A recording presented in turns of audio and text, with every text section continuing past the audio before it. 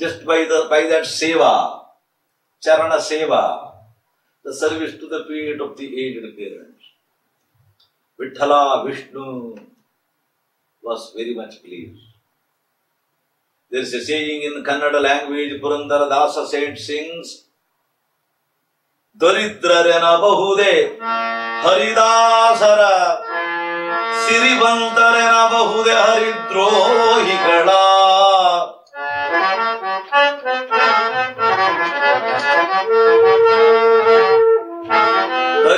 ದರಿದ್ರರೆನಬಹುದೇ ಹರಿದಾಸರ ಸಿರಿವಂತರೆನಬಹುದೇ ಹರಿದ್ರೋಹಿಗಳ ದಾಸರ ಮೇಲಿರ್ಪ ದಯೆಯು ಸಿರಿದೇವಿ ಮೇಲಿಲ್ಲವೋ ಪುರಂದರ ವಿಠಲಗೆ ಆ ಆ, ಓ,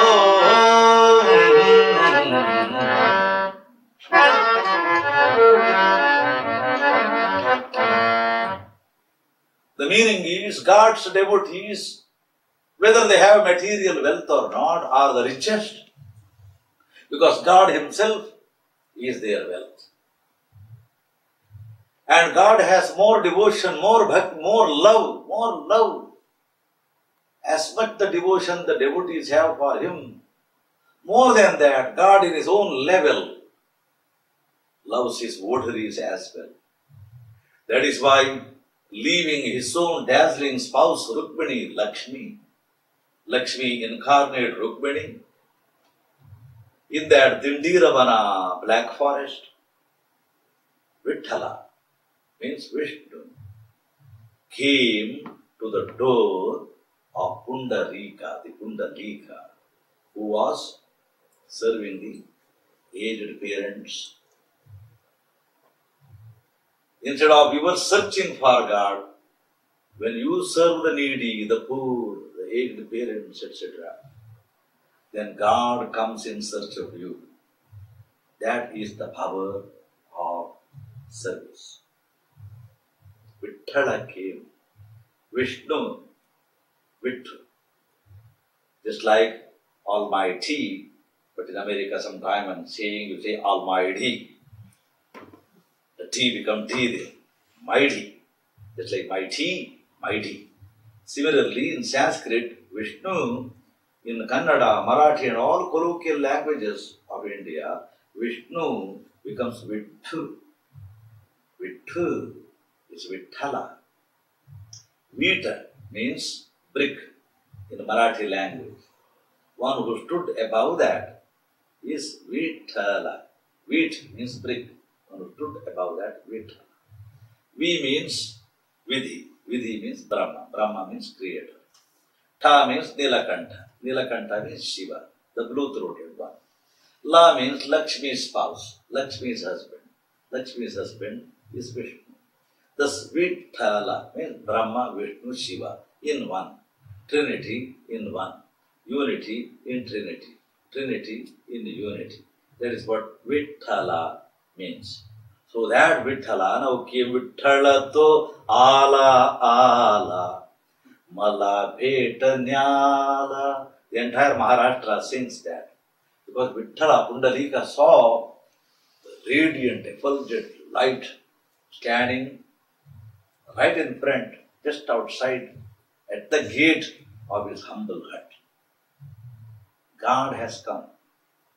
But he was serving the parents. Lord Vithala standing outside cried out, Pundalika, I, the fruit of the Vedas, I, that for which all yogis do their penance, the fruit of all austerity. I am that I am, Vishnu, Bhagavan Vishnu, from Vaikuntha, who has come as Krishna, now leaving even Lakshmi Rukmini in the forest. Because of your devotion, seeing God in mother, Matradevo Bhava, God in father, Pitradevo Bhava, I have come, I have come. Pundarika says, My God, I am sorry, I am busy serving you in my aged parents. Would you kindly wait until I come after finishing my duty to the parents. Lord, I am sorry to disappoint you, but you have not fixed an appointment that you are going to come. As you have not fixed an appointment, if it is dismissed, there is no cause for disappointment. Therefore, do you mind, my Lord, stand on this brick which is the symbol of my heart, saying thus, Pundalika, through asana, here you offer a chair or a pillow or something. there, Pundalika, all that he had was a big brick. So he offered that brick, threw the brick outside and said, Vithala, Vishnu, all pervading truth, kindly squeeze yourself and stand upon the brick which is the symbol of my heart. Now that all pervading truth, Mahavishnu, kept his feet parallel alike because as Krishna used to stand three curved posture. But here, because of the brick to adjust to the brick, God is very great, but He adjusts to your heart, to your mind as per your capacity. You cannot hold Him more than that. And that is why fully He occupied that brick, keeping both of His feet parallel and alive. And there also, because he has to stand on the brick adjusting, he maintained the same posture as he was standing with the angry Rukmini in the forest, keeping both of his palms, arms, hand on the hip to show the readiness. He shows this time it is not for waist pain, but he shows I am ready at any time to run for my votaries to protect them.